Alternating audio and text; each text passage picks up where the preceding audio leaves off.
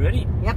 Good day, folks. This is Greg Judy at Green Pastures Farm. I'm not going to be looking at the camera too much because we're driving. But Where are we driving in? Well, we're uh, taking, we're coming back from delivering a load of South Poll cross heifers and getting a young couple started in the grass-fed beef business. Anyway, coming back through Illinois here, we just we're actually headed toward um, Champaign, and uh, we've we've been in Illinois pretty much the whole day, coming here and going back.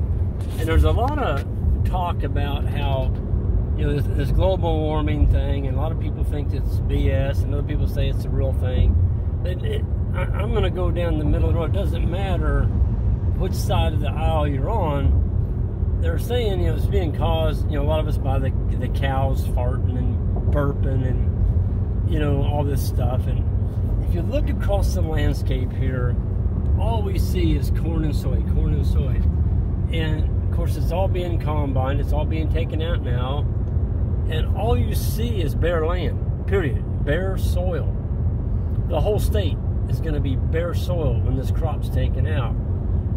And we were at a conference here uh, last two weeks ago, and I'm going to give credit where credit's due. Uh, Ray Archuleta asked the question about, you know, what about the government's uh, programs involved in like subsidies for farming practices and, such, and how, what did people think about that? And that question was posed to myself and Joel Salatin and Daniel and Jordan Green and Jim Gerrish. And, but anyway, at the end, Ray had, I thought Ray Archuleta hit it pretty good on the head. He said, um, well, what if, you know, they're talking about this carbon, get people getting paid for collecting car or building carbon on the soil and measuring it, and the farmers will get paid so much a year for the carbon and all that. But it's very hard to measure.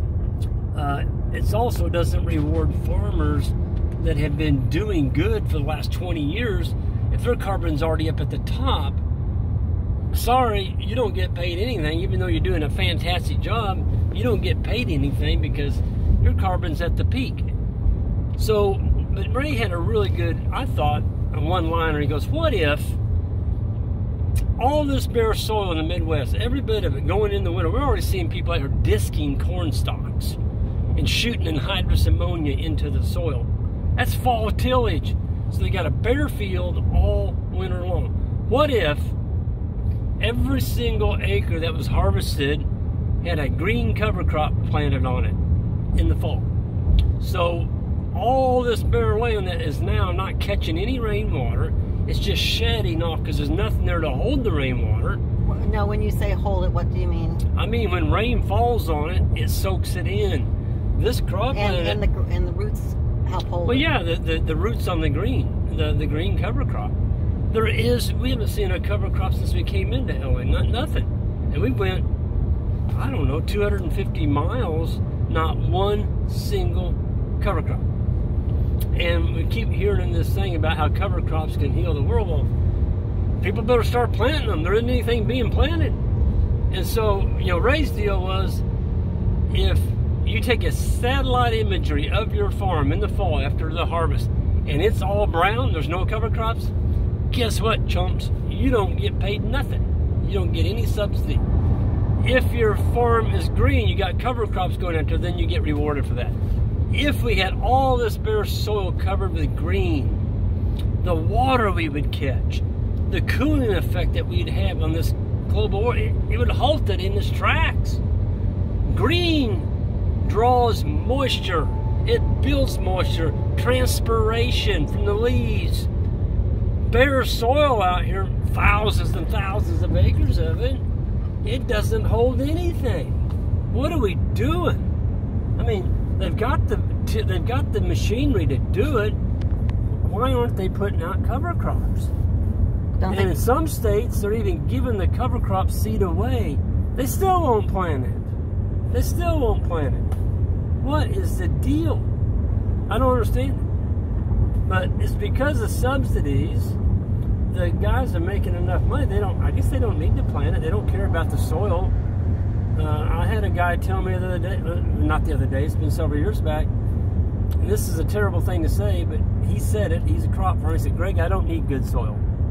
All I need is a medium to hold the seed in place, and I'll give it everything I need. I'll give it the fungicide, the pesticide, the herbicide, the fertilizer. I'll give it everything it needs. Well, that's a really poor, poor view to take of being a farmer trying to leave the land better than when you found it. Folks, we got an issue here in the United States, and it's a water infiltration issue. If you keep land covered with something green, a green growing leaf that has green growing roots, putting out root exudates, holding the water in place, building soil, that's where it's at. There's, uh, I mean, some of the costs of these cover croppers, there was a guy in Indiana, no, it was in North Carolina. There was a guy that gave a talk last week in Tennessee it was a talk that Allen Williams did, Dr. Allen Williams. This guy in North Carolina put out cover crops. He right was behind, getting around 250 bushel. Right, right behind after tilling. What's that? He was planting, tilling it and planting it all in one swap. Right, all in one swap. So he had a cover crop out there. He rolled it onto the ground with this great big no-till corn planter. Had a roller on it. It rolled that cereal rye onto the ground and then he planted right into it in one pass. And uh, it was unbelievable the crop he got. He got like 250 bushels an acre. No herbicide, no fertilizer, nothing. It just, everything was there. And the weeds were suppressed by this cereal rye crop that he put on the ground. So he had a nice mulch. It all died when he rolled it down, and this cash crop of corn came up through that. But here's the amazing part they got a rain that was so bad from that hurricane, I forgot which one it was, that came through on the coast down there. It put his whole farm under eight foot of water for like, I don't know, it was like a week or two weeks.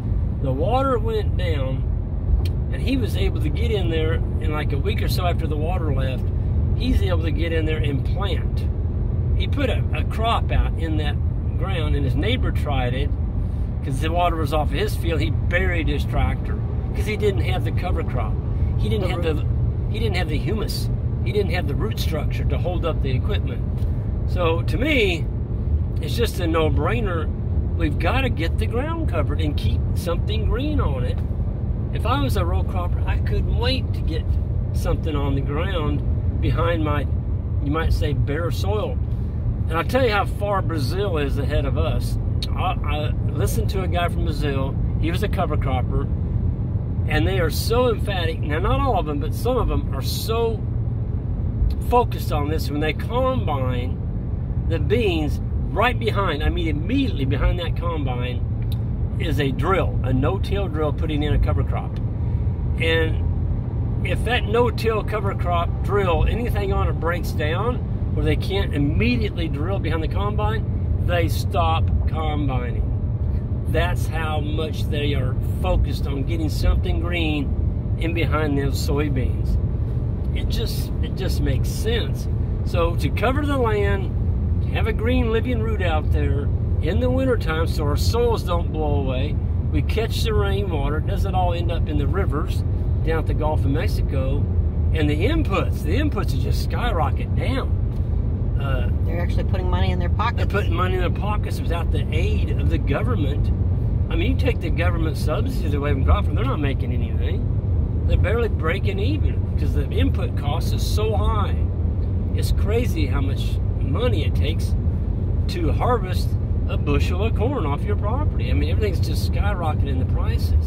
So, anyway, it's just, you drive across this state, it's got rich soil, and all you see is bare soil, bare soil, bare soil, no green. It just doesn't make sense. So a, a country is as prosperous and as wealthy as the United States, and we have this terrible, terrible soil being exposed all the time to elements, it doesn't stand well, and it's not going to. It needs to be fixed. And we can fix it. It's a simple solution. So I'm going to climb back off, climb down off that soapbox, but I just wanted to, I don't know, it's just frustrating driving by and seeing all this bare ground, and you know it's going to be that way all winter long. It doesn't have to be.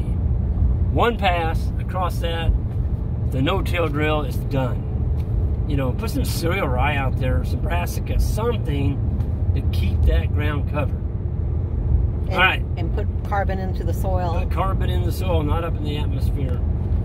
Uh, all the input costs are just going to absolutely plummet. And and the insecticides and herbicides. Not going to need them. There's going to be profit back in farming again. Oh no, not profit. Yes, that all dirty word, profit. all right, I'm going to take and end it right there. Those y'all new to the channel, hit that subscribe button on the way out. And uh, oh, I'll see some of y'all at the Stockman Grass Farmer uh, meeting in uh, Jackson, Mississippi. That's coming up. The multi-species grazing school. I'll be teaching that. If you're interested, hit our website, greenpasturesfarm.net. There's a form there under uh, conferences where you can sign up. Y'all take care. See you down the road.